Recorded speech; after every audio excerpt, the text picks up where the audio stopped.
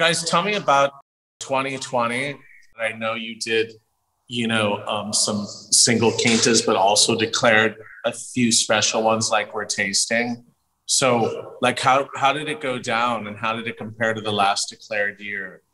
First and foremost, I mean, basically, as you, as you know, Warre Warre and Graham have important sort of commemorative years in 2020. Unfortunately, in 2020, we are unable to celebrate celebrate the anniversaries. And, and now, so this this has been our sort of opportunity to um, to you know let people know that Warre is now 350 years old and, and Graham 200 years old. And with the Graham um, with the Graham um, with the Graham the bicentenary on the one hand, and, and, on the other hand, it's also 50 years since we since we um, acquired Graham. So that that also for us is a landmark so we acquired Graham in 1970, and um, so you know a lot uh, an important uh, important landmarks. And uh, you know, Warre is is actually the oldest registered company in Portugal, so it is quite a, an impressive age. Talking about the year, um, 2020 we had um, we had useful rain in winter, um, which later was really what saved us. Um, we had uh, throughout throughout the winter.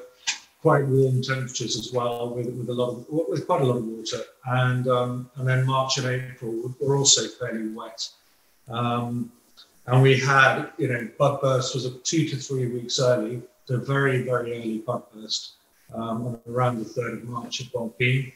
Uh, we then had uh, an early flowering at the beginning of May, um, and, and conditions basically from May onwards uh, changed, and we had uh, very dry weather through May, June, July, um, and, and into August. So, I mean, we, we had well below average rainfall um, during that period, and, um, and a particularly hot period of weather um, in July. Between the 4th of July and the 11th of August in the Douro, we had over 35 degrees C max um, every day for, for over a month. Um, the temperatures didn't really go above 40, but the, it was consistently hot for, for over a month. Then, fortunately, um, as um, as the cycle was continued advanced, we had um, Veraison about 10 days early. Um, so fortunately, we actually had a bit of rain in August on the 17th of August, which is unusual and quite early but actually fitted in very well in terms of the cycle.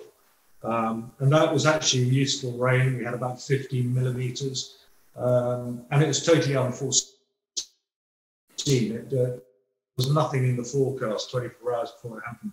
So it was um, it was all good news. I, I remember that well because um, we were all taken a little a little bit by surprise. But anyway, it allowed us to um, to get through the final stages of maturation um, quite nicely and start the vintage sort of two weeks on from that, um, right at the beginning of September. Um, uh-huh. And with the game, we had you know pretty hot weather throughout the beginning of September and throughout most of the month of September. Um, well, no, the rest of the month actually, from about the 10th onwards, it was um, it, the temperatures are pretty reasonable. Actually, nothing too nothing too serious, and we had no rain at all um, throughout the vintage itself. Um, so we had you know, very ripe year, um, a lot of concentration due to the, the heat we'd had and the lack of rainfall from May um, through to the vintage. And so you you did you did declare Graham and Warre's, then Dow's single quinta. I mean, did you make Vesuvio? You always make Vesuvio, right?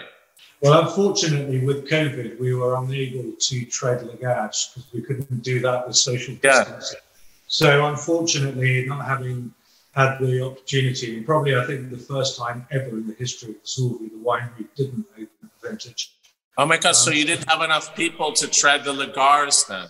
It was it was the COVID restrictions that allowed uh, that, that, meant that we couldn't we couldn't uh, tread. The winery was built in 1827, so it's the first time since then that uh, there was no foot treading in in Vesuvio, and you know I find it extraordinary. You know, through world wars and all the rest of it. Yeah. Uh, thing that stopped the foot treading at Vesuvio is, is COVID. So we, we didn't foot tread in 2020 and we didn't foot tread in, in 2021. So staying true to the tradition of producing the vintage port with um, in but by the traditional method. So you had to use the um, the method you have at, at Malvedos and Bomfim and uh, how that's really fascinating. And how how did it compare to 19? Oh, I think you know, I uh, I think the wines from, from 20 are, are definitely superior. I mean, you know, they're, okay. they're not, they're, they're, we're talking, you know, 2,400 bottles of this Vinhas Velhas from Warre. Um, it's the first wow. Vinhas Velhas release. Um, so we made it exclusively from the Vinhas Velhas at uh, Cavadinha and at Bongrativo. Um, you know, vineyards which produced about a thousand kilos um, per, per hectare. And there's, you know, seven, seven hectoliters per hectare this vineyard produced. Tiny, tiny.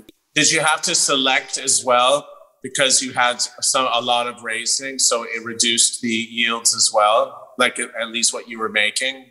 Yeah, yeah, yeah. And we've got some amazing destalkers now that um, actually, when they destalk, they they leave the raisins on on, on the um, on the stalks. So that that works really well. Uh, and obviously, you know, if, if, things bunches that are more raisins stay in the vineyard, they don't even get to the winery. But um, in, a, in a way, it was an extraordinary year because the quantities were tiny, but um, some of the wines are really something quite exceptional. And so, and so we decided to do something exceptional to mark the importance of the year. Yeah. Greg, uh, Graham's 200th anniversary in, in, in 2020 and Warre's 350th anniversary in 2020. And I hope that you'll, you'll, you'll understand why when you taste the wine that we decided yeah. to put a small amount in bottle and, and do a very, very small release. Um, because it was a Simra year and the quality was concentrated around our quintas in, in that area. Yeah. We decided to bottle uh, a small amount of Bomfim. So these are the three wines that we've done an en primeur uh, release with. Uh, okay. And none of the others. So it's a, a, little bit of a mixed bag. It's not a classic vintage port year. It's it's a year in which we did something, you know, exceptional to